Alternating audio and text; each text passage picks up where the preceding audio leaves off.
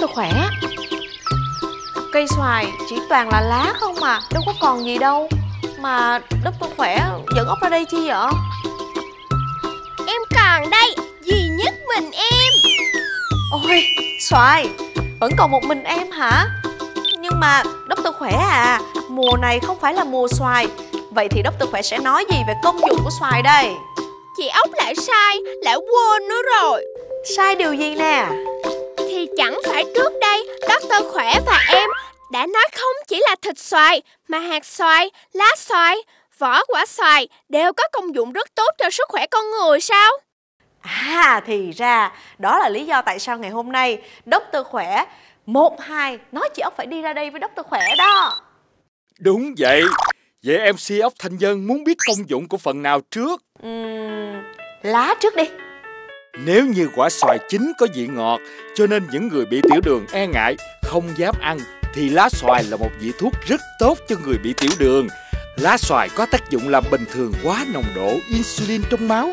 Lấy khoảng 5 lá xoài non, cắt sợi rồi cho vào cốc, đổ nước sôi vào rồi để qua đêm.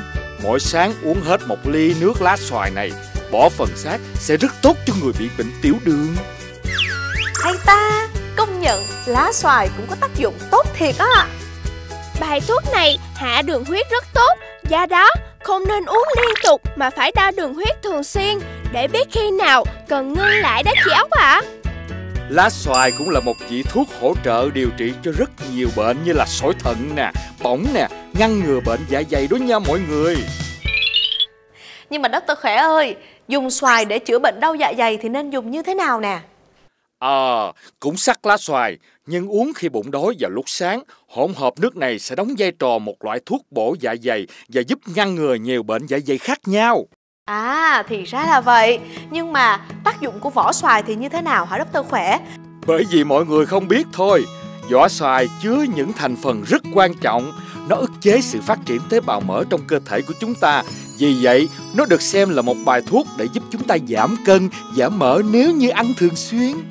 Trong vỏ của em có chứa một lượng lớn chất chống oxy hóa cực mạnh, có khả năng chống lại chứng bệnh viêm nhiễm, chất gây ung thư đó chị ốc ạ. À. Vậy thì từ nay khi mà ăn xoài ốc sẽ rửa thật là sạch, xong rồi thỉnh thoảng ăn luôn cả vỏ xoài, được không ta?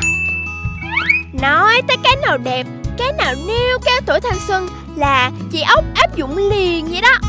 Ờ, thì đương nhiên phải như vậy chứ. Thế còn hạt xoài thì có công dụng gì nè? À, hạt xoài có công dụng trị run sáng rất hiệu quả. Chỉ cần lấy nhân hạt xoài 20g, hạt chanh 15g, giả nát, đổ hai chén nước sắc còn một chén, uống vào sáng sớm vừa ngủ dậy khi chưa ăn gì, rồi nằm nghỉ một lúc sẽ rất hiệu quả đó tăng Dân.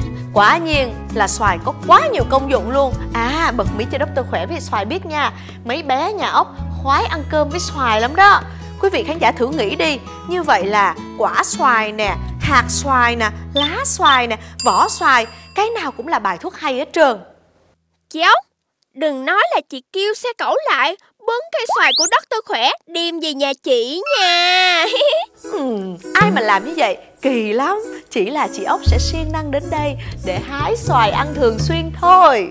Vì vậy, quý vị hãy thường xuyên theo dõi chương trình để có những thông tin thú vị và bổ ích từ đất tôi khỏe nha. Hẹn gặp lại tất cả quý vị khán giả trong chương trình đất tôi khỏe lần sau. Xin chào. Xin chào, tạm biệt mọi người